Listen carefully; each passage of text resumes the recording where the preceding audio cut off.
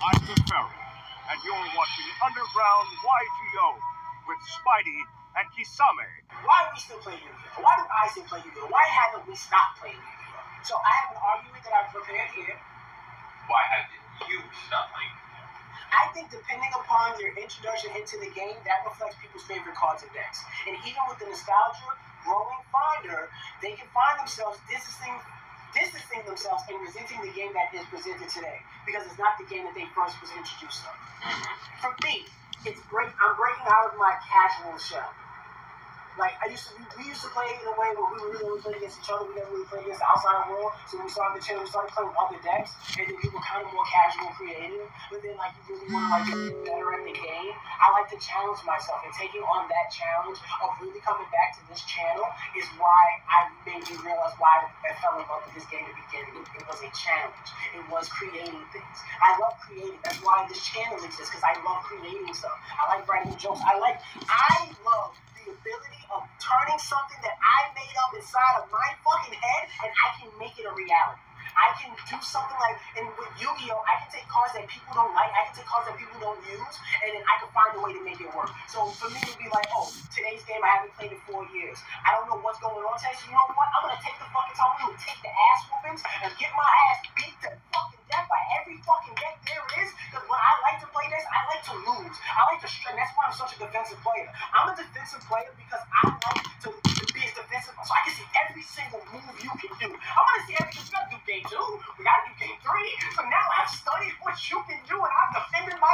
the end of my limits to see everything you can do. Now I know how to counteract it in the next game. So I never know what to do and get in your ass. I love doing that. And to me, it is when I can do it with those cards like your Nimble Momongas and your and your Celtic Guardian. The fact that I found a way to put Celtic Guardian in the deck in 2024, I'm still like. That is an example of taking the time to learn the game and finding a way to still create things inside of my head and making it a reality. That is why I still love today's game. I love how fast it's becoming. I understand before people used to go, it's too fast, I can't understand it. To me, that's just lazy thinking. Like, you need to get out of that shit and learn where we live today. Like, that's like saying, oh, cars from 1372 are better than cars made today. Have you ever driven a Tesla? No, because it's too confusing. It's like when you hand an old person an iPhone, they're oh, no, You me. yeah, exactly. It's just press the button, Grandpa. That's how you order food. You just the store. No, no, you can press buttons on your phone and, and pussy shows up now. But you don't have to do that anymore. Like, taking the time to, like, grow, evolve, get better. I love that shit. I, I, I strive to become smarter. I strive to become better. I, and with Yu-Gi-Oh, it is definitely, it encompasses all of that. Because today's So game is part so of this video is to rant about why you're still playing Yu-Gi-Oh. Mm-hmm. Okay. And that's what I'm saying. So like, cause once I got back into it, I was like very nervous and shaky. But oh, I don't understand. I going on. And I found my way through it and learned it. It was just like this is why I love it because now Yu-Gi-Oh, you get to it expands it maximizes every single aspect of the game. The fact that then you can interact with every single phase of every single turn. It's like draw phase, you can actually call standby phase, main phase one, battle phase, main phase two, end phase. There's so many different phases with so many different things that happen where you can negate, you can interrupt, you can pop, you can special summon, you can even set your field to where it looks like you're summoning shit, and then you like end your field little shit because you set up everything else for the next turn. Like I love all of that shit. Now, can that now for me to tag in? Yeah, go ahead. All right. Now for the reason why I love this game. For me, I already could tell you, I like, can never win, so I collect. man's not wrong. Man's not wrong. See, I'm the type where it's like I know my weakness as a Yu-Gi-Oh player. I'm casual. I know I like crap. I'm like, and I don't like to be forced to play meta because a lot of the recent meta to me is all these weed girl-looking cards, and it's it's just they, they're very like they try to like make like I'm gonna make zombie ballerinas. It's like I don't really care. Like if a deck doesn't appeal to me as a person, because I always like my decks to represent me and my core. And if they don't either represent me by their visual aesthetic, I want them to represent me by their play style. Mm-hmm. And sometimes I can't get past an, like a like a deck's visual, or sometimes I'll fall in love with a deck for years. I'll be using a deck for fucking years, and I'll run that deck through the mud. So after a while, I started to like start getting a little bitter because obviously it's like you know you consistently lose with what you love, so it makes you feel like shit. That's why I feel like a lot of people probably just quit because they're like, I just don't want to play this. I'm not gonna shell out just to pay to win because I don't really care if I'm not playing what I like. Me personally, what I like in this game, why I'm still playing this game, is because I am a collector this game. Like, look at this. Me and Spidey went to the convention. I got this signed by the voice actor of mine. This is a Forbidden Memories Harpy's Pet Dragon Metal Raiders First Edition Harpy Lady. You know, all these things are like iconic. Like, I love iconicness in the game, and I strive to eventually one day have this fucking groundbreaking Yu-Gi-Oh collection. And I'll tell you this, I bit by bit, I want to say I'm probably within the top 50, maybe best collectors in the whole fucking world. Oh no. Maybe in general. I don't know if I don't know. Maybe that's a stretch to say, but I really think that I am a, an extremely like crazy Yu-Gi-Oh collector, and I feel like that. Yeah, I feel like that's where I shine because I have never seen maybe like two people my whole life that I have ever seen their collections where I'm like, I gotta give it to you. You better, you better. And that's like Asian Yinsation and maybe like another like person, but like I? Is that their name or is that what you call it? No, it's a thing. You said that just so casual. I almost dropped my phone. Not that. Clean that mess. Like I play what I like. I like playing these like just shitty like decks, and at the same time I'm like, wow, you beat me.